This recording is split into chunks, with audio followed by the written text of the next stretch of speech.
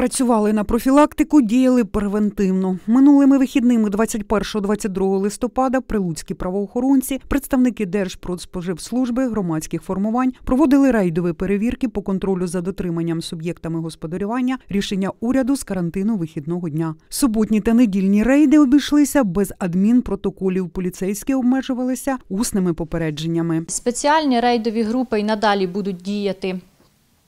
Щодо дотримання карантинних норм у прилуках, до їх складу входять е, поліцейські, співробітники Держпродспоживслужби та громадські формування.